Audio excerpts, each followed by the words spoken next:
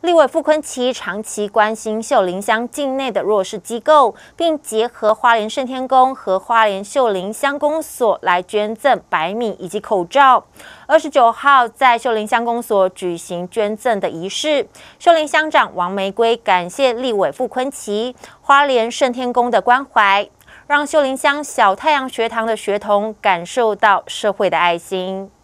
立委傅昆奇相当关心花莲县疫情的影响。也特别请办公室处长陈文清关心秀林乡的情况，并且寻求社会资源来帮助原乡以及小太阳学堂来捐赠物资。日前傅昆萁立委打电话问我小太阳学堂短缺物资的情形，我马上请那个王乡长来了解。那王乡长经过那个了解之后，马上跟我讲他。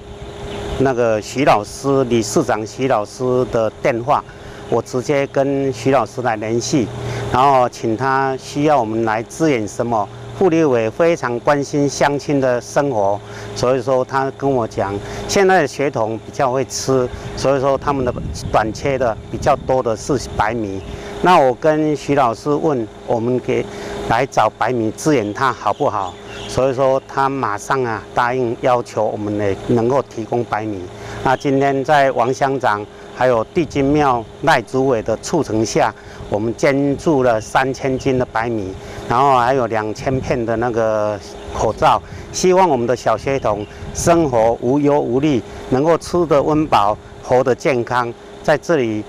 呼吁我们社会善心人士一起来，人力己力，人机己机的。善心呢，来助资助我们需要的单位。前我们秀林乡的疫情非常严重，呃，非常多的族人都受到确诊以及矿裂的通知之后，都在家里休养。那因为生活上的拮据，所以布立委看到我们秀林乡，呃，面临这样的一个困顿，那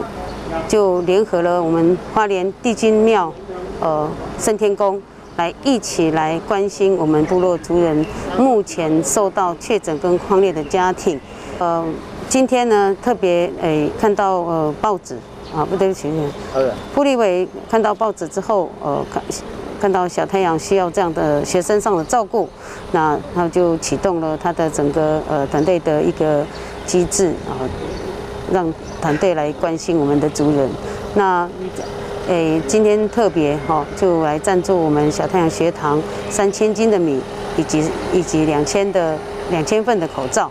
那其实小太阳学堂它不仅是在照顾我们，他们我们一百多位现在目前就是呃经济上呃有困难的学童，其实在这次疫情所有就是呃需要被照顾的学童，我想小太阳也是一起有去关心。那因为。呃，非常时刻啊，一定要大家要共体时间。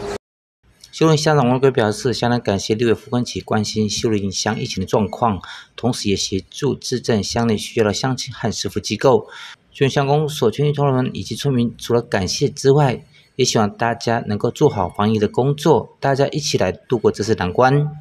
记者九王一，学乡报道。